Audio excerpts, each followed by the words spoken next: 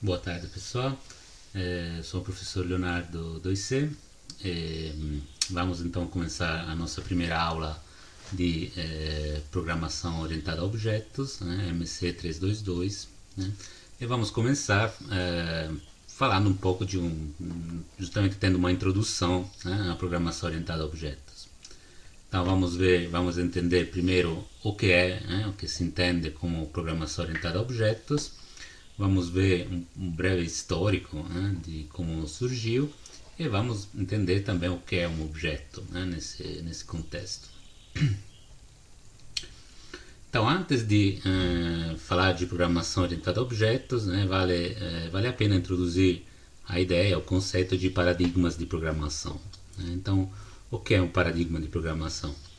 Uh, quando a gente constrói programas software, né, a gente usa uh, abstrações do, do modelo computacional. Né? Quer dizer que uh, o computador ele trabalha com uh, instruções, memória, eh, dispositivos, registros, né?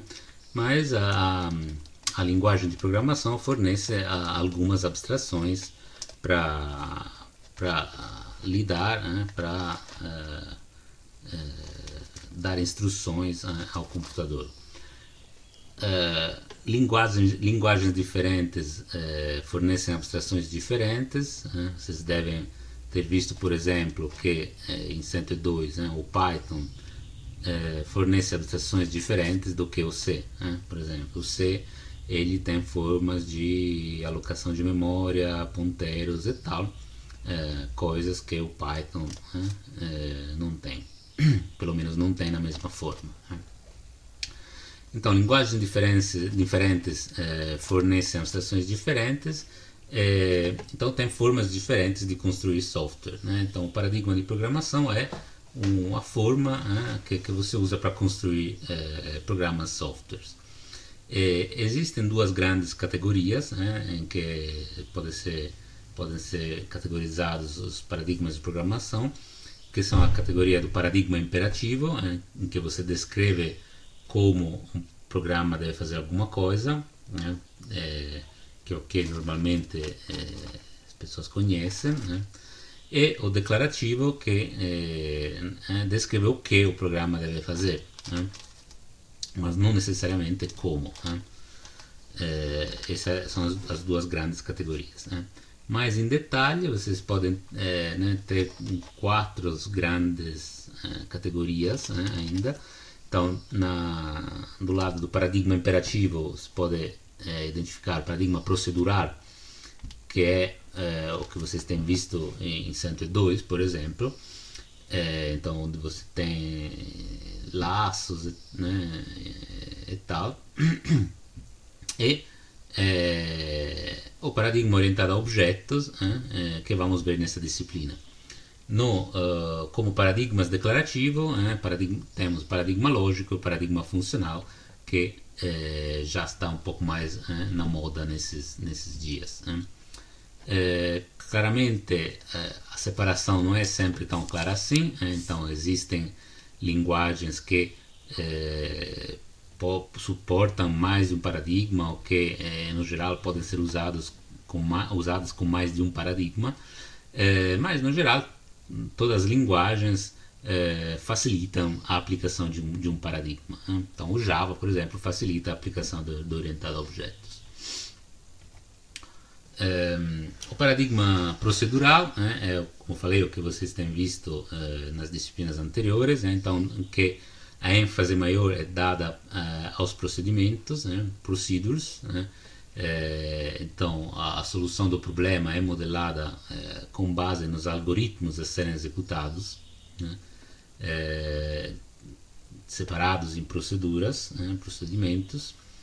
E o estado da execução é, é manipulado diretamente. Então, quer dizer que você tem variáveis, laços, variáveis que controlam esses laços, escolhas, né, ifs, etc. Né. O C, C básico é um, é um exemplo, né, por exemplo, do estilo procedural. eh, por exemplo, se eu quero eh, criar um quicksort no estilo procedural, esse é um exemplo, eu tenho, vou ter um procedimento aqui do, do, do de ordenação, que vai usar outro procedimento de particionar o vetor, esse é um exemplo de implementação. Né? E é, é outra, outro procedimento, outra procedura né, de swap, né, de é, troca de posição dos elementos do vetor. Então, né, a, a, o código é organizado em, em proceduras. Né. É, no paradigma lógico, né, os programas são feitos de relações matemáticas e axiomas. Né. Então, a, a execução uh, do programa é basicamente dar uma resposta a algumas perguntas lógicas. Né. Então, uh, vai verificar se é, algumas proposições lógicas são verdadeiras ou não, né, e o programa é, de, é descrito é, de novo com relações e axiomas. Né? Por exemplo, é, aqui né, no exemplo, se x é irmã de y, né, que quer dizer que x é irmã de y, que x é, é mulher, né, que existe um, um, um z que é pai de x e é pai de y, né? E eh, x e y são diferentes, né? não são iguais. Né? Esse é um exemplo de paradigma lógico. Né? Um, agora, o paradigma funcional, que ainda é parte né, do, do, declarativo, né? quer dizer que você declara o que o programa tem que fazer, né? o que você quer, mas não como. Né? Então, uh, a ideia do paradigma funcional é, é que, que, tudo é baseado em expressões e funções, né? ao invés de usar variáveis comandos né? e, e, e, procedimentos. Né? Então, a base é na avaliação e composição de expressões e funções, né? e quando eu falo funções, funções matemáticas, então não procedimentos, né? não, é, não, não procedimentos que alteram o estado ou algum estado global, né? ou algum estado mesmo local, mas mesmo funções. Né? É, ainda nas linguagens funcionais puros, né? é, é, não, não tem é, alteração de, de, de variáveis. Né? Então, não, tudo é feito como uh, resultado de uh, composição de funções. Né? Exemplos dessas linguagens podem ser Haskell, Scala, Lisp né? e outros. Aqui tem um exemplo do Quicksort em Haskell. Né? É, assim, como vocês podem ver, é, isso é bem mais simples do, do que né, da, da, versão procedural de antes. E basicamente o resultado aqui é a composição de três funções que fazem uma filtragem no vetor uh, inicial. Né? Depois, quem, quem, quer, quem quiser aprofundar uh, esse, esse tópico, né, pode ir ver uh, como é que funciona. Isso não é, não é tópico dessa disciplina. É, falando então do, do, paradigma orientado a objetos, né, que é o que vamos abordar nessa disciplina. É, no paradigma orientado a objetos, o programa é composto por uma coleção de objetos que cooperam entre si e eh, se fala que se comunicam com, com mensagens. Né? Então, o, o elemento básico da, da, das, dos programas não é mais o procedimento né? é, ou a função, mas os objetos. Então, o, a execução do, do programa é dada por essa comunicação entre objetos. Né? É, esses objetos normalmente são perto do domínio da aplicação. Então, se eu, por exemplo, estou criando uma, uma aplicação de reserva de, de lugares, de assentos de ônibus, vou, provavelmente vou ter o objeto ônibus, o objeto assento, o objeto reserva e tal. Né? É, então, o, né, a base, o começo de uma programação de um sistema orientado a objetos é decidir quais são os objetos necessários para criar esse sistema. Né? Exemplos eh, desse paradigma são justamente Java, né, que a gente vai usar, e C++, né, que é uma versão eh, a objetos de C. Né. Vamos ver agora um pouco sobre, falar brevemente sobre o histórico de programação a objetos. É, primeiro, né, orientação a objetos não é um conceito novo, né? então é, é, um conceito bem estabelecido, um dos conceitos mais estabelecidos, eu diria, da, da programação, mas ainda ele é bem atual. Né? Então não é, escutem, né? às vezes vocês podem ter ouvido falar, ah, programação objetos é uma coisa dos anos 90, 80, 90, agora não se usa mais.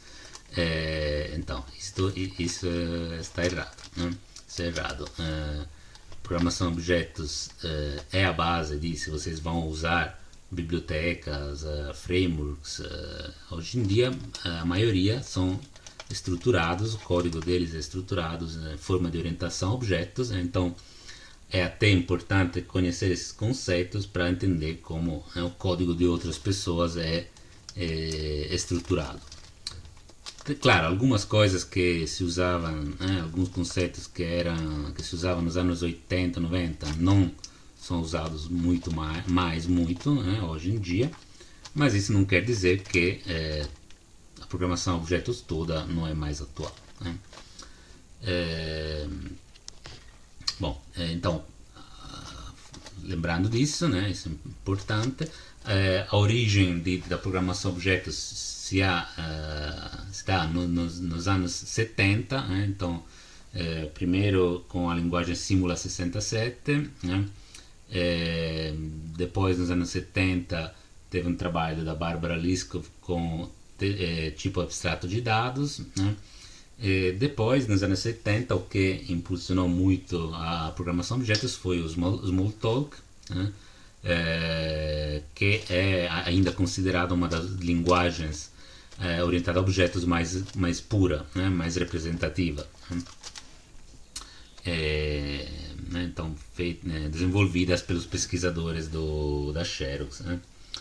É, depois, né, nos, no, nos anos 80, é, surgiram várias linguagens, em particular é, o C++, né, como acabei de falar, que o C++ é uma extensão do C é, orientado a objetos, né? então a ideia de fazer um C orientado a objetos.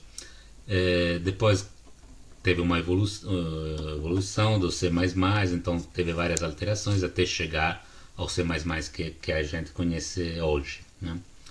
É, na mesma época teve outras linguagens, por exemplo a Eiffel, né? Eiffel outra linguagem considerada pura ou considerada uma das mais representativas da, da programação objetos, né?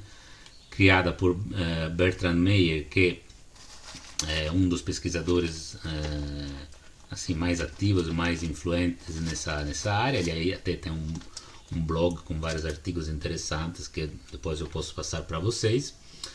E, finalmente, na década de, de 90, né, aparece a linguagem Java, né, é, que assim é, foi a que, vamos dizer, popularizou né, a programação orientada a objetos. Né.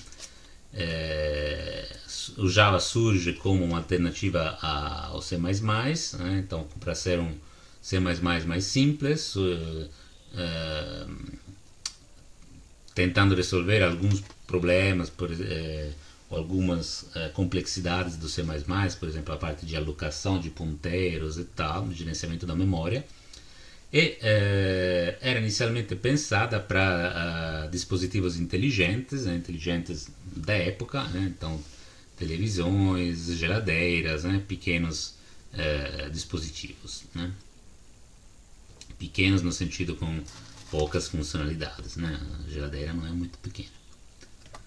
Uh, então, né, assim, para resumir a evolução, né, então saindo do dos anos 60, 70, simula né?